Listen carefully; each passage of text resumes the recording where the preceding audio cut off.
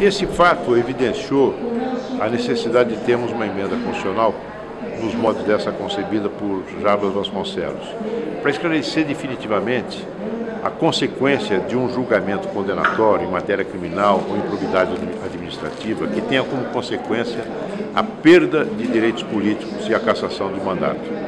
Porque o texto da Constituição dá margem a alguma ambiguidade e é preciso esclarecer essa ambiguidade. Daí, daí ser muito oportuno votarmos a emenda Jarbas Vasconcelos.